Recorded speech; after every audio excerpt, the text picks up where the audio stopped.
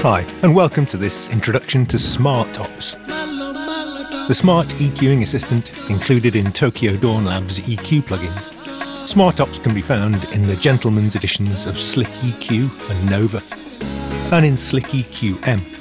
The basic operation is the same in each case, but the details vary according to the differing capabilities of each of the plugins.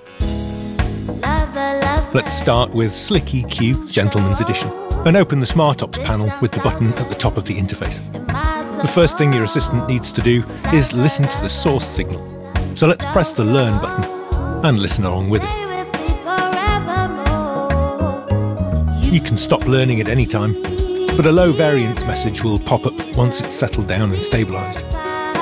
And we now have options in the operation menu below. The simplest of these is auto high pass and low pass. We can now enable the high pass or low pass filter bands, which are automatically set to remove out of band content without affecting the wanted audio. Let's try something more complex, however, and choose deresonate instead.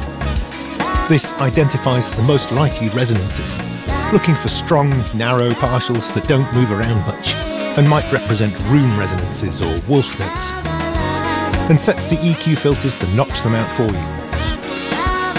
Just like a human assistant, the Smart Ops can benefit from some supervision and guidance. We can restrict the frequency range we're addressing, perhaps to focus on resonances in the mid-range. And the EQ filters will reconfigure themselves accordingly. We can also control the range, which is like a strength control.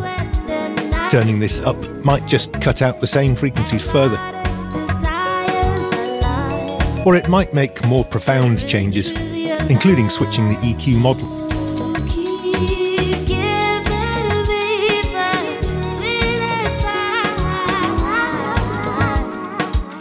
You can also apply negative range if you want, to boost the resonances instead, which can sometimes help to exaggerate the characteristics of a part and make it stand out better in the mix.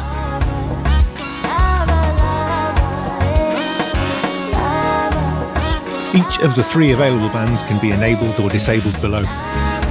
But notice that when you do so, the remaining bands might change.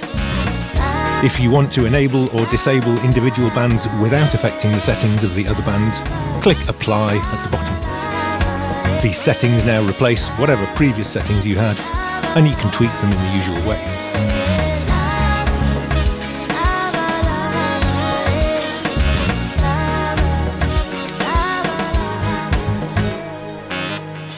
If we do the same in Slick EQ-M, we now have up to six bands of cut available. These might shift around or change in width as I adjust the parameters or disable bands.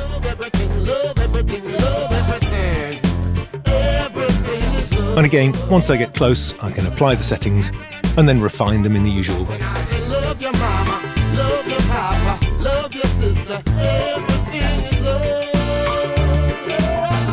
Nova Gentleman's Edition also has up to six bands available, but these can be much narrower and more surgical than the other two EQ plugins. So this is a great choice when you need to tackle very narrow resonances at very specific frequencies.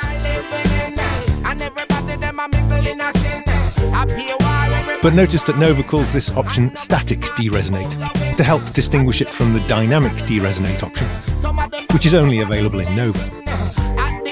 Now those resonances are removed dynamically, only when they become too prominent, which can be a very powerful way to clean up problematic recording.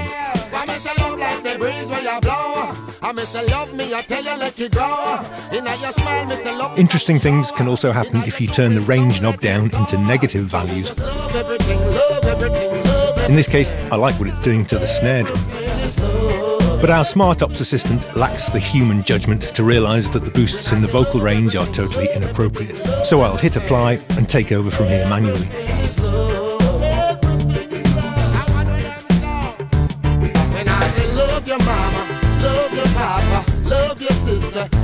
For a completely different approach to dynamics processing, you could try Generate Multiband instead.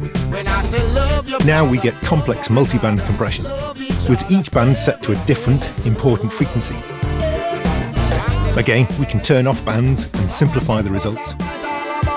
But notice the wide band is enabled by default.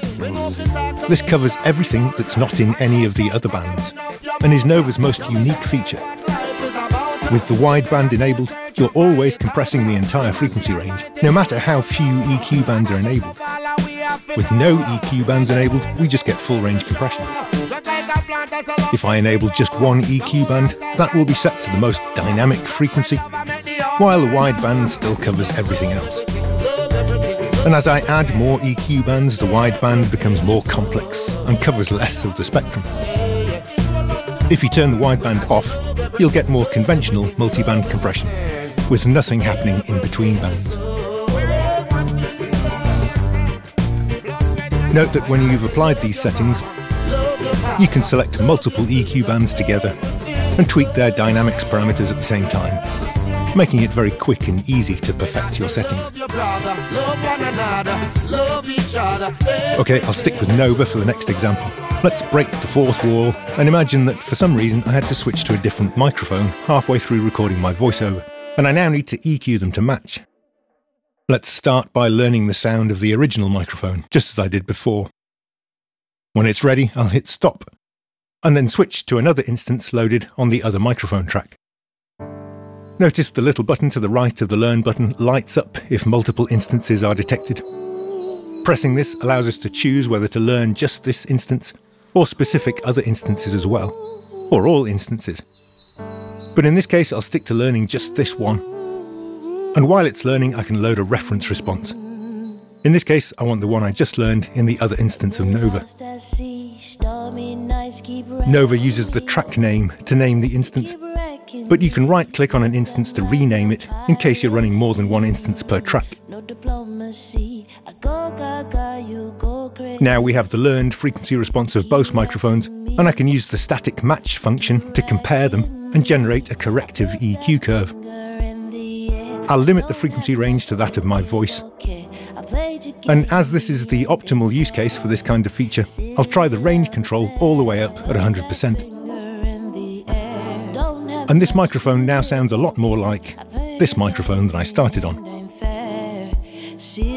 Matching can also be done with full mixes, of course. This is perhaps what people most associate the feature with. Here's SlickEQ GE again, learning a full mix. Once you've learnt the frequency response, you can save it as a reference for future use. But in this case, I want to load a different reference to compare with this mix. So I'll load a reference from a file.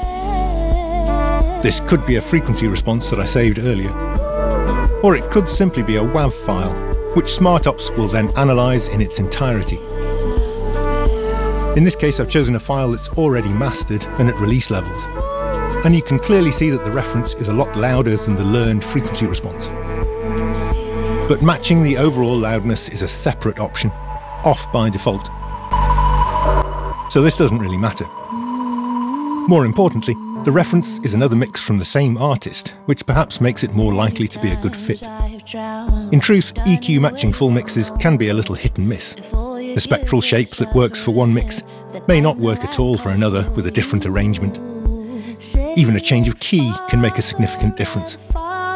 So it pays to choose the reference carefully, using the best sounding mix of the album as a reference for the other songs on that album is probably more likely to work well than using a totally unrelated mix. Even so, in this case, you'll nearly always want to keep the range control set much lower, with perhaps just one exception. If I turn off all three of the EQ bands below and match using just the tilt filter, I can now turn the range up much further before I start to do any damage. The tilt filter is interesting in that it can create gentle smile or frown curve shapes, as well as linear tilts from left to right. So this is a great way to very gently match the overall balance of low to mid to high, without changing the fundamental character of the mix.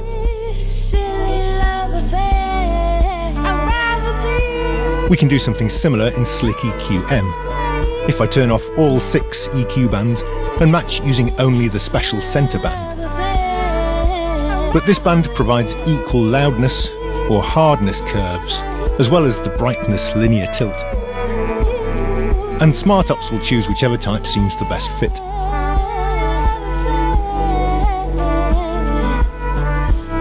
Alternatively, I could enable the EQ bands instead and create match settings that also take account of panning and or width for the different bands. And now SmartOps will also set the panning and width parameters below each band to match the stereo wideness of the reference. Note that the settings you create with SmartOps are all provisional until you hit apply. Tweaking the EQ settings will close the SmartOps panel as if you cancelled out.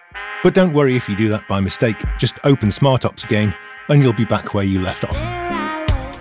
On the other hand, if you close the plugin interface or save and exit the session, SmartOps will conclude that you were happy with the sound but forgot to hit apply. So we'll do that for you. And the SmartOps settings will replace your old settings. Okay, let's switch back to Nova GE and try the dynamic match feature. This uses Nova's dynamic EQing features to match the dynamics to the reference as well, compressing or expanding different frequency bands as needed. This is an incredibly powerful feature that could potentially do a much better job of matching your mix to the reference, but could equally be even more profoundly wrong than the static match when using an inappropriate reference. There are no tilt filters or special centre band in Nova, but we do have the wideband. As with the multiband setting, this is everything that's not covered by one of the other bands. Enabling or disabling the wideband can have a profound effect on the resulting EQ settings. Okay, last example. This one is available in all three plugins. I'll learn the input as usual, but instead of picking a reference file or analysing a WAV, I'll choose pink noise. Pink noise is like white noise but filtered so that the high frequencies are lower in level than low frequencies.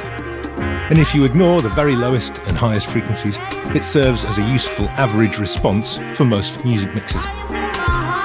Matching to pink noise might be a good strategy when you don't have an appropriate reference mix to compare to, and will give much better results than trying to match to an unsuitable reference. Now we're boosting frequencies that seem quiet compared to the rest of the mix, and vice versa, without reference to any specific other mix. But again, you'll usually get the best results with the range control set relatively low, to nudge it gently closer to the target. And you have to use your ears to judge this, of course. As clever as the SmartOps algorithms are, they lack the cultural knowledge or the emotional responses of a real human being, and will always need some guidance. That's all for now. Thanks for watching.